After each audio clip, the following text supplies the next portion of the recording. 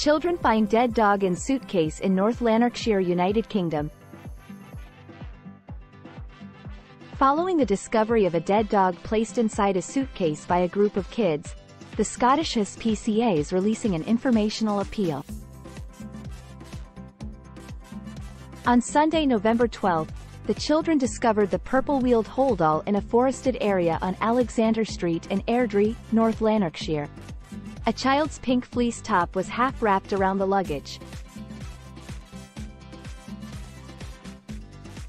The body of the dog was discovered, and emergency services were notified.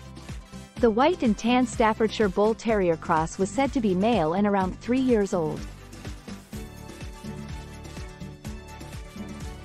He was seen with a collar made of black leather adorned with a gold and silver dog. Anybody with knowledge is urged to come forward by the Scottish SPCA. Inspector Robin Masher said, he was found by a group of children in a wooded area and the police were contacted. We are appealing for anyone who has seen someone with this particular holdall within the area around that time. If anyone has any information surrounding the circumstances, they should call the Scottish SPCA Confidential Animal Helpline,